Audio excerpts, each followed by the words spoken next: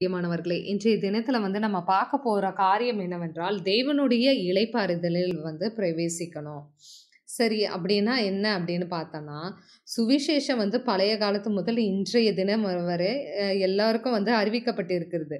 ஆனால் கேட்டவர்கள் வந்து விசுவாசம் இல்லாமல் கேட்டதுனால என்ன பண்ணுவாங்க என்ன ஆச்சு அப்படின்னு பார்த்தீங்கன்னா, கேட்ட வசனம் வந்து அவங்களுக்கு பிரயோஜனப்படவில்லை பிரயோஜனப்படாதனால என்னென்ன காரியம் நடந்தது அப்படின்னு பார்த்தீங்கன்னா, 40 வருஷம் வந்து அவங்கள வந்து காப்பாற்றினாரு ஆனால் அவங்க வந்து என்ன பண்ணாங்க, பாவம் செய்தாங்க.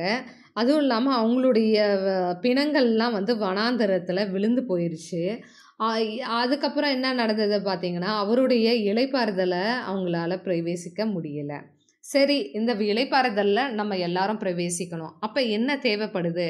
அப்படின்னு பார்த்தீங்கன்னா, நம்ம கேட்ட இந்த வசனத்தை கேட்கிற மக்கள் வந்து என்ன பண்ணணும்னா, விசுவாசம் உள்ளவர்களாக இருக்கணும். சரி இந்த விசுவாசம்னா என்ன அப்படின்னு பார்த்தீங்கன்னா, நம்பப்படுகிறவைகளின் உறுதியும், காணப்படாதவைகளின் நிச்சயமாக இருக்கிறது. சரி அப்போ நம்பிக்கைனா என்ன? அப்புறம் விசுவாசம்னா என்ன அப்படின்னு பார்த்தீங்கன்னா, நம்பப்படுகிறவைகளின் உறுதி அப்படின்னா, ஒரு மனுஷன் மேலே க ஒரு ஏதோ நம்மளை காசை கொடுக்குறோம் அவன் வந்து திரும்பி தருவான் அப்படின்னு அவன் மேலே நம்பிக்கை வச்சு நம்ம கொடுத்தா அது வந்து நம்பிக்கை. ஆனால் வந்து காணப்படாதவைகளின் நிச்சயம் அப்படின்னு சொல்லப்பட்டதுன்னா அதாவது நான் தேவனுடைய வார்த்தையினால் உலகம் உண்டாயிற்று அப்படின்னு வந்து 2000 வருஷத்துக்கு முன்னாடி ஒரு நடந்த காரியத்தை நம்ம கண்ணால் பார்க்கவுமே இல்லை காதால் கேட்கவுமே இல்லை ஆனால் இப்போ வேதத்தை வாசிக்கிறோம். இன்றைய தினத்தில் அநேக ஊழியர்கள் வந்து அதை பிரவேசிக்கிறாங்க. அதாவது பிரசங்கம் பண்ணுறாங்க ஊழியக்காரர்கள் இன்றைய ஊழியக்காரர்கள் வந்து அதை வந்து பிரசங்கம் பண்ணுறாங்க அதை வந்து நம்ம வந்து என்ன பண்ணுறோம் நம்புகிறோம் அதுதான் வந்து விசுவாசம். ஸோ இப்போ விசுவாசத்துக்கும், அவ்விசுவாசத்துக்கும் உள்ள டிஃப்ரென்ஸில் வந்து பார்க்க போகிறோம் முதலாவதாக அவ்விசுவாசம்னா என்ன அப்படின்னு பார்த்தீங்கன்னா, அதாவது தேவனுடைய சத்தத்தை கேட்காதபடி இருதயம் கடினப்பட்டு போகிறது. அதை தான் வந்து எபிரேயர் மூன்று ஏழு எட்டு வசனங்களில் நம்ம வந்து பார்க்குறோம் அதாவது பரிசுத்த ஆவியானவருடைய சத்தத்தை வந்து கேட்கக்கூடாதபடி நம்மளுடைய இருதயம் வந்து கடினப்பட்டு போயிருக்குது அப்படின்னு வந்து பார்க்குறோம் அதுதான் வந்து அவ்விசுவாசத்தில் ஒரு ஒ ஒரு காரியமாக பார்க்குறோம். அடுத்தபடியாக நம்ம பார்க்குறப்ப தேவனுடைய இலைப்பாறுதலில் நம்மளால் பிரவேசிக்க முடியவே முடியாது. அதை தான் வந்து பார்த்திங்கன்னா மூன்றாவது எபிரேயர் மூன்றாவது அதிகாரம் 18வது வசனம் என்ன சொல்கிறது என்னுடைய இலைப்பாறுதலில் பிரவேசிப்பதில்லை என்று அவர் வந்து பார்க்குறோம்.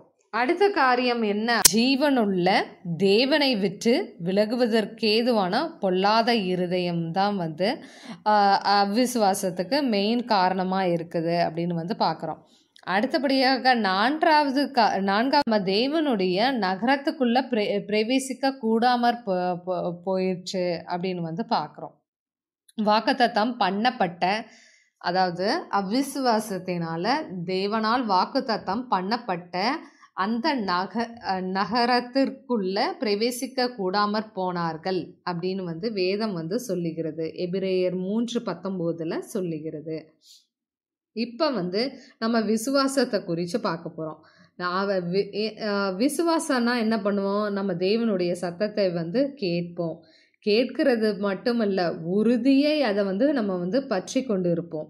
அடுத்ததுபடியாக நம்ம பார்க்குறப்ப தேவனுடைய இளைப்பாறுதல தேவனுடைய சத்தத்துக்கு கீழ்ப்படிகிறதுனால, நம்ம தேவனுடைய இலைப்பாறுதலை வந்து கன்ஃபார்மாக வந்து நம்ம வந்து பிரவேசிப்போம்.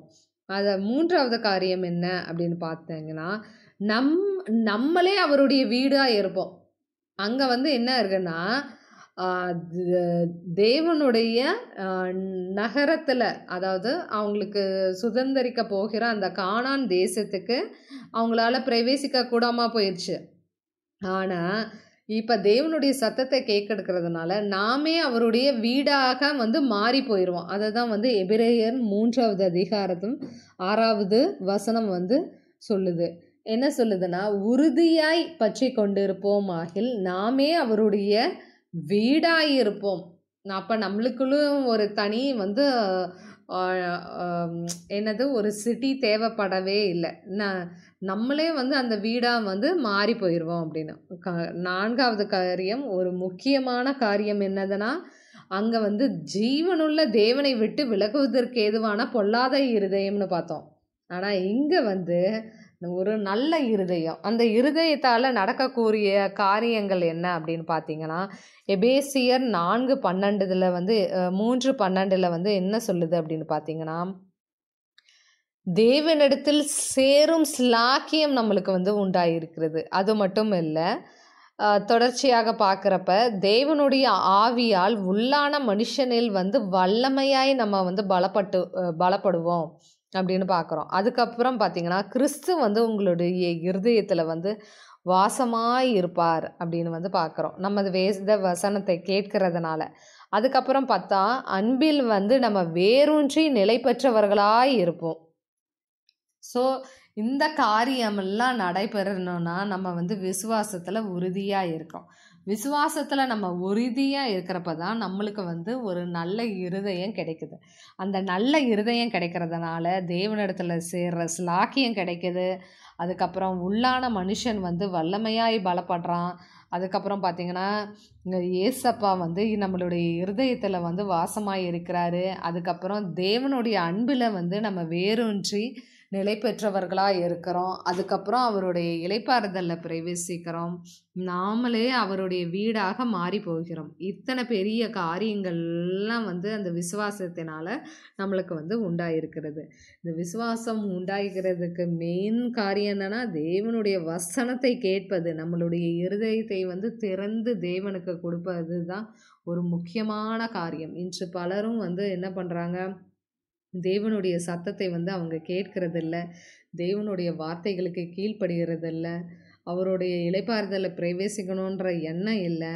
அவருடைய வீடாக நம்ம மாறணுன்ற எண்ணம் இல்லவே இல்லை.